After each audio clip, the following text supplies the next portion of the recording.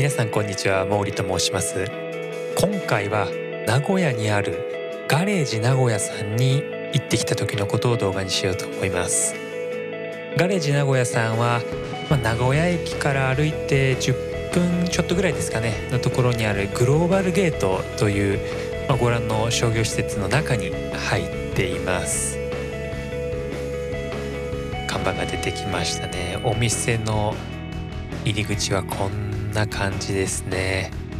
とてもおしゃれな園芸店さんでした。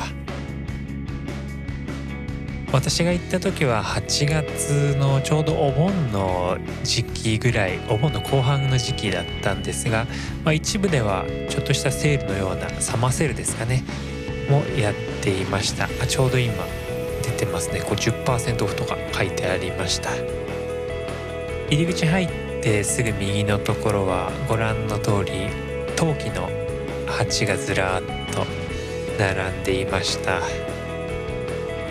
大小さまざまなサイズの品揃えがされていました、まあ、ご覧いただいた通りですね多くの鉢が置かれてたんですがここのスペース以外のところにもですねさまざまな鉢が置かれていまして、まあ、どれもですね非常におしゃれな、まあ、絵になるといいますかインテリアになるそういった鉢を取り揃えられていましたこのように店内にディスプレイされた植物たちですねに鉢を組み合わせて、まあ、こういう仕立て方をするのかというのがとても参考になりましたね。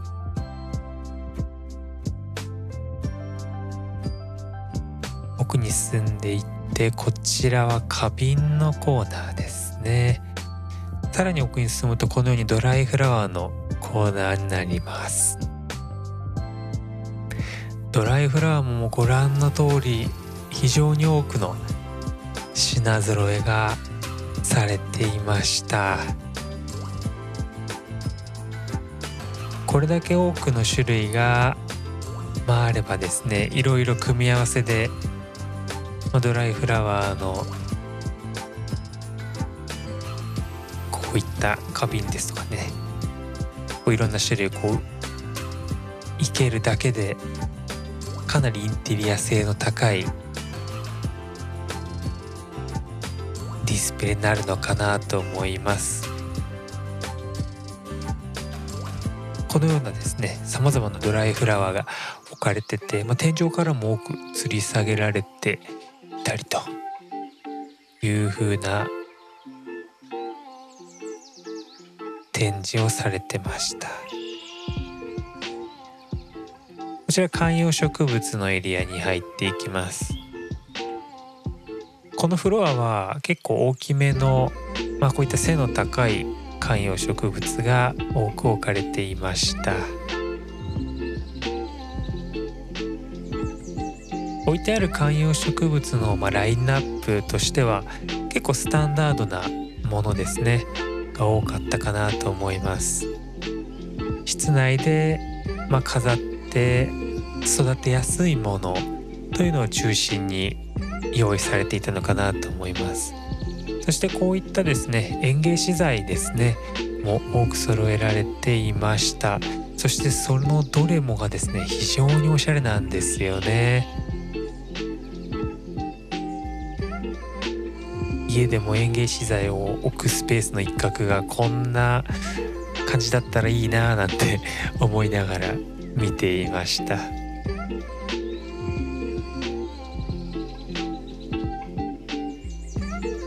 こういった吊り下げるタイプの鉢カバーですね。というのもいくつか置かれていました。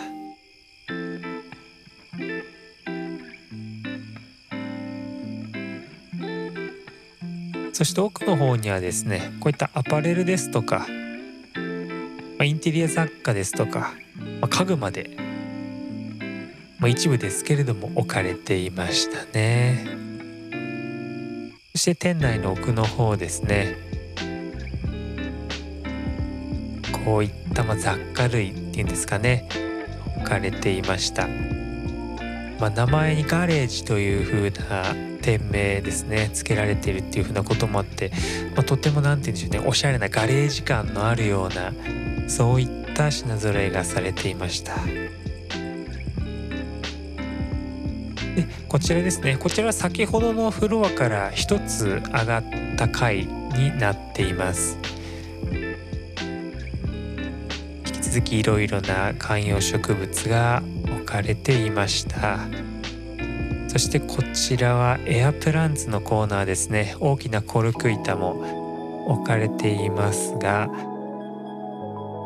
これが非常に魅力的だったんですよね。エアプランツコーナーで。大きなコルク板にこうたくさんのエアプランツが置かれていたんですがそれがとてもかっこよくてですね。私の家もこう大きなコルク板にこうエアプランツをわーっとつけて、まあ、飾りたいななんて思いながらも、まあ、そういうスペースがちょっとないなという風なのでちょっと諦めてますが。はい。エアプランツもですね、えー、まあ大小さまざまな種類が置かれていました。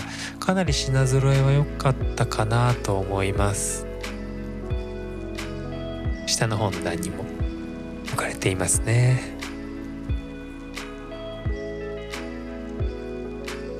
エアプランツは展示の仕方によっては、まあ、室内のかなりおしゃれなインテリアにもなり得るものかなと思いますので、まあ、こういったおしゃれなお店とは相性がとてもいいのかなと思います。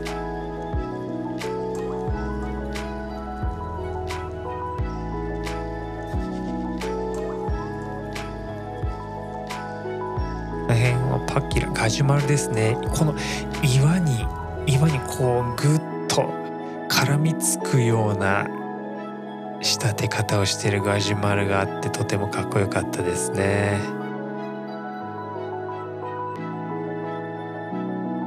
こちらのフロアにも多くの鉢が置かれていました店内奥の方に行くと、まあ、園芸資材ですとかそういったものを中心に置いてありましたね。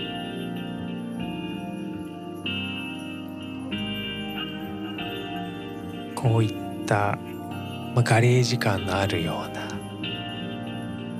そういった武骨でかっこいい感じの園芸資材が多く置かれていましたね。いやいいですね。私の家もこういう風にできればなぁと 思うんですが。こう何て言うんでしょうね。インテリアの中でもインダストリアルデザインとかそういったものが好きな方はとてもハマるお店なのかなと思います。こういったジョールですとか霧吹きとかももう一つ一つがデザイン性の高いものが置かれていましたね。この辺はコンテナ類ですね。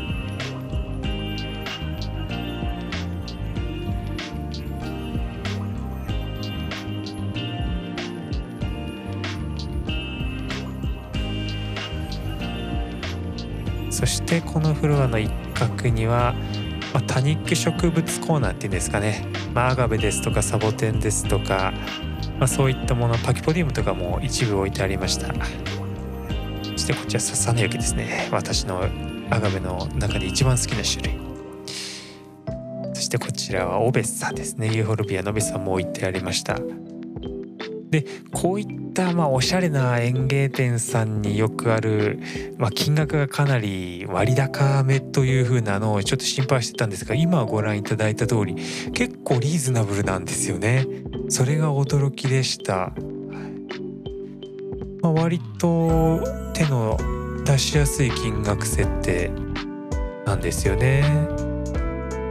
こちらもパキポディウムのホロンベンセの多分未承内だと思うんですけれどももこの金額ということでもう全然よくあるおしゃれ園芸店にありがちなちょっと高すぎるでしょっていう金額設定じゃないんですよね。いやーこの名古屋のもう名古屋駅から歩いて行けるような都心の真ん中でこれだけおしゃれなお店でこの金額設定っていうのはちょっと驚きでしたね。裏に回ってこの辺は、まあ、引き続きいろいろ多肉植物ですね。アデニウムですとかエデニアグロボーストこれは何でしょうね。ラメリーかな？パキポディウムの。ちょっとわかんないですけどいろいろありましたね。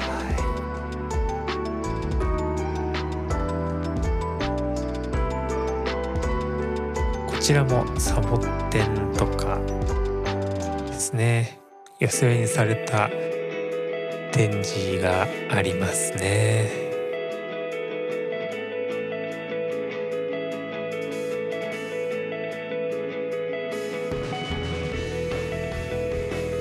この辺亀甲竜ですね。そうですね。亀甲竜も置いてありました。可愛いサイズのものですね。この辺は。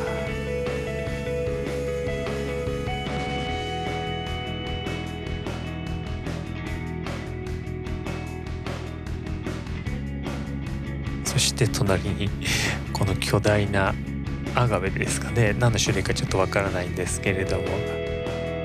が置かれてました。この辺ネオレゲリアですかね。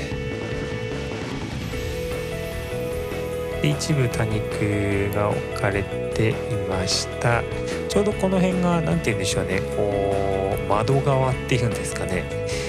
の方に位置するので、まあ、こういったディスプレイになってるんでしょうね。そしてこの多肉ゾーンよりちょっと、まあ、隣っていうんですかねの方にはいろいろ鉢が置いてあったりしました。その横にはまあこういった形でハンギングの観葉植物ですとかちょっとちっちゃめの鉢に割った観葉植物が置かれていました。そしてその奥には陶器製ですかね。こちら陶器製というかまあ何でしょうね。石造りっていうんですかね。そういった鉢も多く置かれていました。